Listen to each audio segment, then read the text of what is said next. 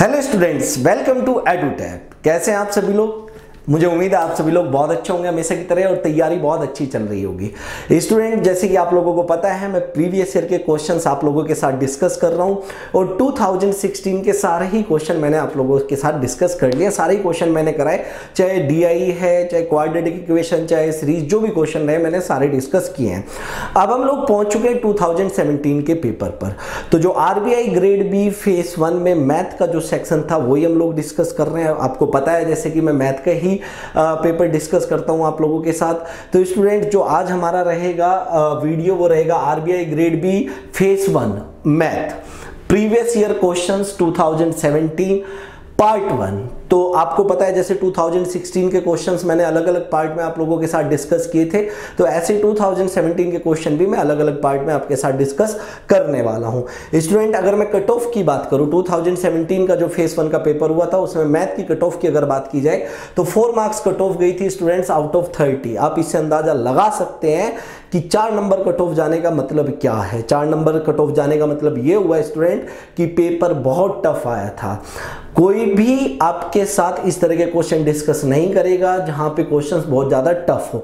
Basic basic questions तो बहुत लोग आपको करा लेंगे, लेकिन जब बात टफ लेवल की आएगी तो वहाँ पे वो नहीं आपके साथ कोई क्वेश्चन डिस्कस करेंगे। लेकिन मैं आपके साथ सारे के सारे क्वेश्चन डिस्कस करने वाला हूँ और पूरी कोशिश करूँगा कि आपको बहुत अच्छे अच्छे, शानदार, प्यारे प्यारे मेथड में बताऊँ स्टूडेंट्स अगर लेवल की बात करें तो पेपर का जो लेवल था, वो काफ़ी हाई लेवल था। ये कट ऑफ़ से ही अंदाज़ा लगाया जा सकता है। तो स्टूडेंट यहाँ पे आज पार्ट वन है, हमारा क्वेश्चन डिस्कस करेंगे, बहुत अच्छे क्वेश्चन डिस्कस करने वाले हैं।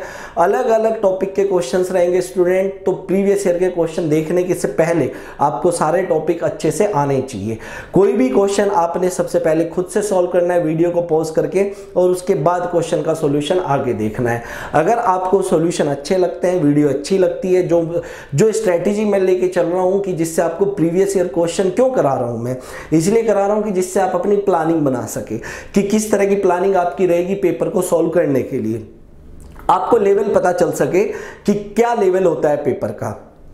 इजी लेवल तो बिल्कुल नहीं होता है क्योंकि कट ऑफ़ ही चार नंबर गई है 2016 की स, कितने गई थी? 7.5 मार्क्स गई 2018 की भी 7.5 मार्क्स गई तो कट ऑफ़ ज़्यादा हाई तो नहीं जाती है। क्यों नहीं जाती है हाई क्योंकि पेपर बहुत टफ आता है। तो स्टूडेंट अगर आपको सॉल्यूशन अच्छे लग रहे हैं जो प्लानिंग मैं आप लोगों के लिए लेके चल रहा हूँ वो अच्छी लग रही है तो आप वीडियो को लाइक ज़रूर करें। कमेंट करके मुझे ज़रूर बताया करें कि क्या आपको नई चीज़ें मैं आपके लिए कर सकता हूँ क्योंकि जो मुझे अच्छा लगता है वो तो मैं करता ही हूँ लेकिन जो आइडियाज़ आप लोग मुझे देंगे वो भी मैं यहाँ से पे इंप्लीमेंट ज़रूर करूँगा।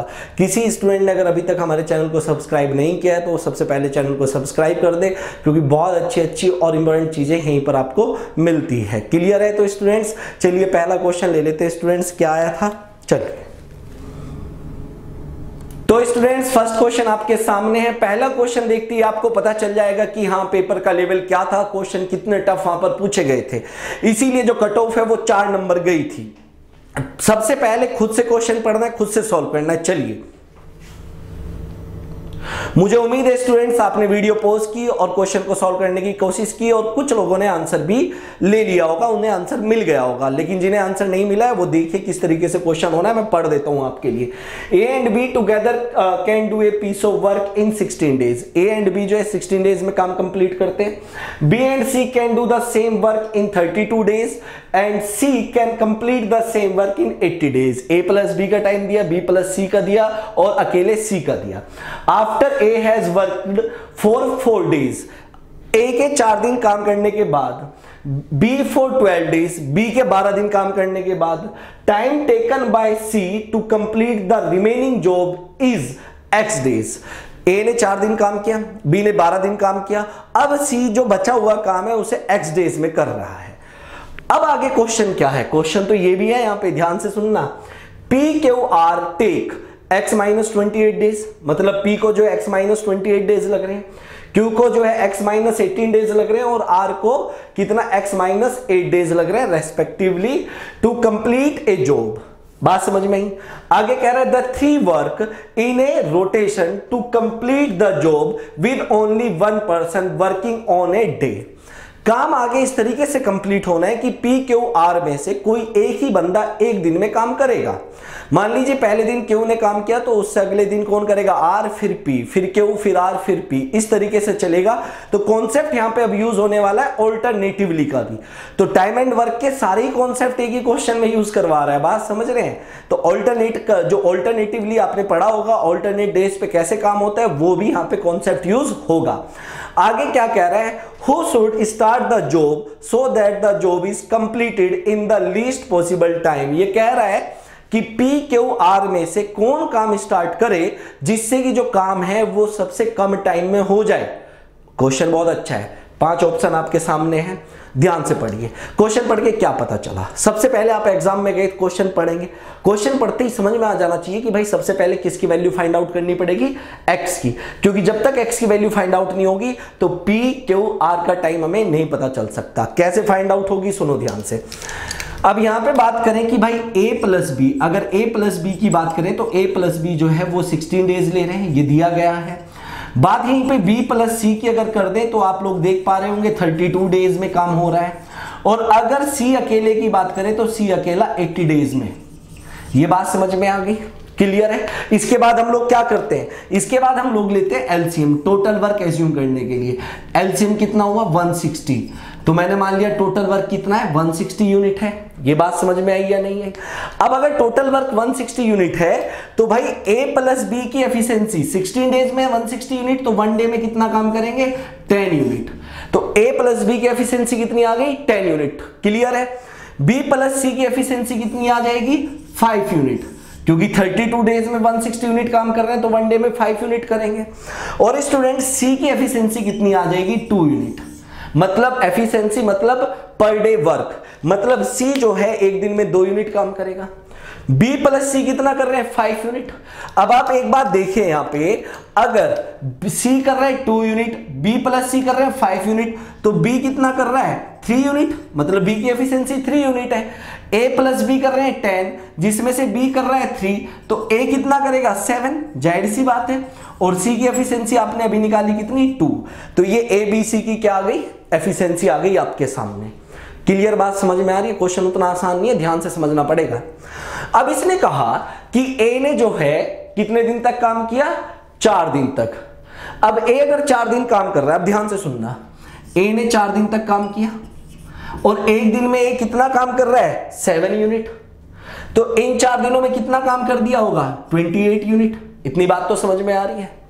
दूसरी बात अगर बी की बात करें तो बी ने ट्वेल्व डेज़ तक काम किया, जबकि बी एक दिन में कितना काम कर रहा है? थ्री यूनिट तो ट्वेल्व डेज़ में कितना काम कर दिया होगा? थर्टी सिक्स यूनिट अगर अभी तक बात करें तो कितना काम हो गया? सिक्सटी फोर यूनिट टोटल था कितना? वन सिक्सटी वन सिक्सटी में से सिक्सटी फोर हो चुका तो रिमेनिंग कितना बचा? नाइनटी सिक्स यूनिट अब ये नाइनटी सिक्स यूनिट कौन करेगा? सी सी एक दिन में कितनी टॉफी खा रहा है? दो टॉफी.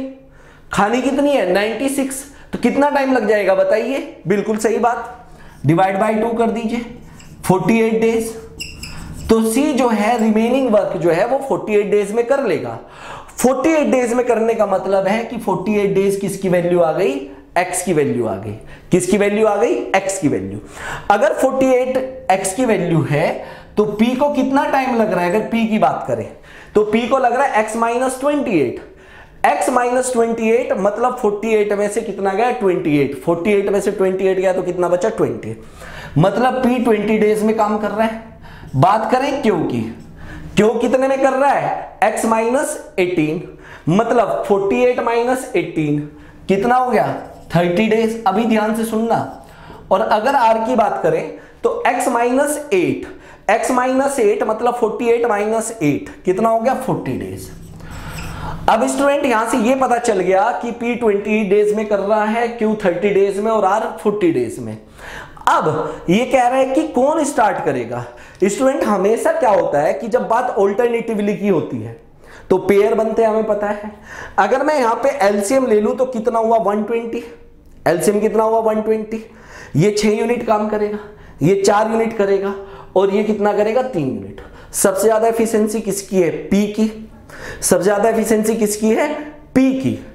तो पी की अगर सबसे ज़्यादा एफिशिएंसी है तो जब कभी भी काम सबसे कम टाइम में कराना है तो काम वो स्टार्ट करेगा जिसकी एफिशिएंसी सबसे ज़्यादा है।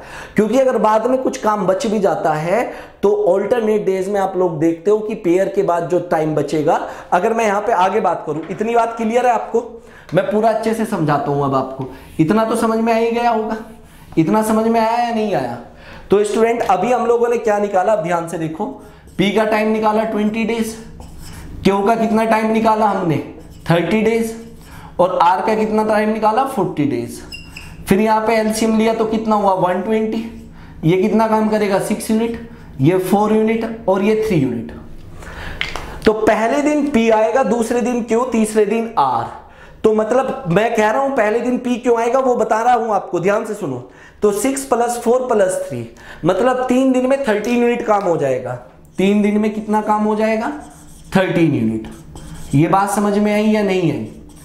अब काम करना है वन ट्वेंटी बात समझ में आ रही काम कितना करना है? वन ट्वेंटी यूनिट कोई डाउट इसमें अभी तक? मुझे नहीं लगता कोई भी डाउट होगा। तो अगर 120 13 से 120 तो डिवाइड नहीं होता। कौन डिवाइड होता है? 117 जस्ट इससे पहला नंबर कितनी बार जाएगा? नाइन टाइम्स अभी ध्यान से सुनना नाइन टाइम्स तो यहाँ पे ये आया कि भाई 27 डेज़ में 117 यूनिट काम हो गया। अभी कितना बचा? थ्री यूनिट अब एक बार बताओ थ्री यूनिट करने के लिए कौन आएगा? कौन आएगा? पी और पी की एफिशिएंसी सबसे ज़्यादा है। अगर एक बार बताओ, जो बचा हुआ काम है थ्री यूनिट उसमें पी क्यू आर कौन फास्ट कर सकता है? जिसकी एफिशिएंसी ज़्यादा होगी? एफिशिएंसी किसकी ज़्यादा है? पी की। तो पी ही कर सकता है या नहीं कर सकता? इसके लिए इसका मतलब जब ऑल्टरनेटिवली डेज़ की बात होगी तो सबसे पहले काम वो करेगा शुरू, जिसकी एफिशिएंसी सबसे ज़्यादा होगी। एफिशिएंसी किसकी ज़्यादा होगी? जिससे टाइम सबसे कम लगेगा। और यहीं से हमें पता चल गया था कि टाइम किसे कम लग रहा है? पी को। तो पी ही काम स्टार्ट करेगा, जिससे कि काम सबसे कम टाइम में कंप्लीट हो जाएगा। आगे कुछ भी करने की ज़रूरत नहीं थी। तो बताइए, एक मिनट का क्वेश्चन था ये। इजीली सॉल्व हो सकता था। तो एक नंबर तो पक्का है यहाँ पे।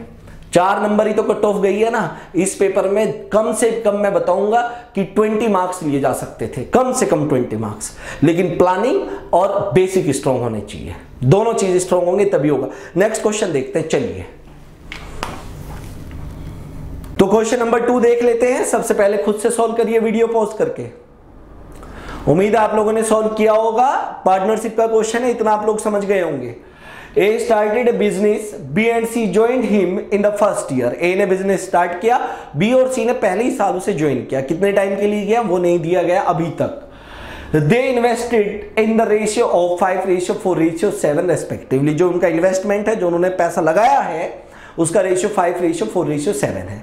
And the period for which they invested was in the ratio of four ratio three ratio two time का रेशियो दिया है, कितने टाइम के लिए उन्होंने इन्वेस्ट किया? Four ratio three ratio two इतने टाइम के लिए ये रेशियो दिया गया है. In the second year A double the investment अब दूसरे साल ए ने क्या किया? अपने इन्वेस्टमेंट को डबल कर दिया। B and C continue with the same investment B और सी ने जो है सेम इन्वेस्टमेंट के साथ ही कंटिन्यू रखा for the same number of months as they did in the first year और उन्होंने उतने ही टाइम के लिए पैसा लगाया सेकेंड ईयर में भी, जितना उन्होंने फ़र्स्ट ईयर में लगाया था। ये दिया गया the total profit of two years was fourteen thousand what is the B share of profit question समझ में आया? उम्मीद है क्लियर हो गया होगा अभी तक। सुनो इधर। देखो स्टूडेंट आप लोग ये तो जानते हैं कि जब प्रॉफिट एंड लॉस की बात सॉरी पार्टनरशिप की बात होती है तो जो प्रॉफिट होता है, वो क्या होता है? इन्वेस्टमेंट इनटू टाइम वो क्या होता है? इन्वेस्टमेंट इनटू टाइम यही होता है या नहीं होता? है इतनी बात तो आपको पता है। अब स्टूडेंट ये रहा यहाँ पे ए ये यहाँ पे रहा बी और ये रहा यहाँ पे सी अब ध्यान से समझना सारी की सारी चीज़। ठीक है? अब ए ने इन्वेस्ट किया किस रेशियो में? फाइव बी ने इन्वेस्ट किया फोर और सी ने इन्वेस्ट किया कितना? अगर सी सेवन सी ने कितना इन्वेस्ट किया? सेवन इतनी बात समझ में? पहले साल की अगर मैं बात करूँ तो जो टाइम का रेशियो दिया गया है वो कितना है? Four ratio three ratio two इतनी बात समझ में? आई अब ए ने तो पहले से ए ने तो बिज़नेस शुरू किया था, इसका मतलब ए तो स्टार्टिंग से लेके लास्ट तक रहा होगा। अगर मैं पहले साल की बात करूँ, अब यहाँ पे सुनो, क्या दिया हुआ है? Four ratio three ratio two अब इस फोर की वैल्यू तो ट्वेल्व मंथ्स है तो मल्टीप्लाई बाय थ्री करके आया होगा तो इस थ्री की वैल्यू नाइन मंथ्स रही होगी, और इसकी वैल्यू सिक्स मंथ्स रही होगी। इतनी बात तो समझ में आती है या नहीं आती है?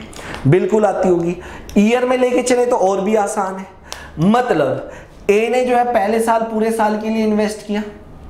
बी ने पहले साल कितने टाइम के लिए इन्वेस्ट किया है? आप लोग देख रहे हैं नाइन मंथ्स लेकिन ईयर में कन्वर्ट करेंगे तो नाइन बाई ट्वेल्व और नाइन बाई ट्वेल्व कितना हो जाएगा? थ्री बाय फोर और सी ने जो इन्वेस्ट किया है, वो हाफ़ के लिए किया है सिक्स मंथ के लिए किया है। सिक्स मंथ का मतलब हाफ़ ईयर ये तो आया फ़र्स्ट ईयर की बात। अब सेकेंड ईयर पे चलते हैं। सेकेंड ईयर प्लस हो जाएगा ना? अब सेकेंड ईयर में क्या कह रहा है कि सेकेंड ईयर में ए ने अपना इन्वेस्टमेंट डबल कर दिया। तो मतलब अब ए का मार्केट में कितना पैसा लगा हुआ है? पहले पाँच लगा हुआ था, अब दस लगा हुआ है। एक साल के लिए। दूसरा साल पूरा है। लेकिन बी ने क्या किया? अगर बात की जाए तो बी ने चार रुपए ही लगा के रखे कितने टाइम के लिए?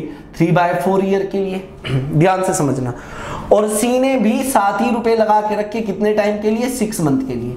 मतलब दूसरे साल भी इसने छह महीने के लिए पैसा लगाया है। इतनी बात समझ में आई या नहीं आई? अब यहाँ पे अगर मैं देखू स्टूडेंट तो ये कितना हो जाएगा? फाइव प्लस टेन तो ये तो टोटल कितना हो गया अगर देखें? तो फिफ्टीन हो गया या नहीं हो गया? बात समझ में आ रही है? समझना। अगर यहाँ पे इस टोटल की मैं बात करूँ तो ये कट हो गया, यहाँ पे थ्री बचा, ये कट हो गया, यहाँ पे थ्री बचा तो यहाँ पे कितना रह जाएगा? सिक्स भाई थ्री प्लस थ्री कितना हुआ? सिक्स हुआ या नहीं हुआ? और अगर यहाँ पे बात की जाए तो कितना हो जाएगा? Seven one by two plus seven one by two मतलब फोर्टीन बाई टू तो कितना रह जाएगा यहाँ पे? सेवन। इतनी बात समझ में तो अब जो प्रॉफिट का रेशियो आया उनका वो कितना आया? Fifteen ratio six ratio seven यही आया है नहीं आया? क्लियर है ना? समझ में आ रही है बात? अब जो टोटल प्रॉफिट है मेरे अकॉर्डिंग वो कितना आया? 28 लेकिन क्वेश्चन कह रहा है कि वो कितना है 14,000 मतलब 28 पार्ट की वैल्यू कितनी है? 14,000 तो वन पार्ट की वैल्यू कितनी आ जाएगी भाई? 14,000 डिवाइड बाय 28 तो कितनी आ जाएगी? 500 वन पार्ट की वैल्यू कितनी आ गई? 500 किसका प्रॉफिट पूछा गया है? बी का. तो बी के पार्ट पास कितने पार्ट है? सिक्स पार्ट अगर वन पार्ट की वैल्यू 500 है तो सिक्स पार्ट की वैल्यू कितनी आ जाएगी? तो मल्टीप्लाई बाय 500 कर दीजिए इसे भी. तो कितनी आ जाएगी? बताइए 3000 आ जाएगी या नहीं आ जाएगी?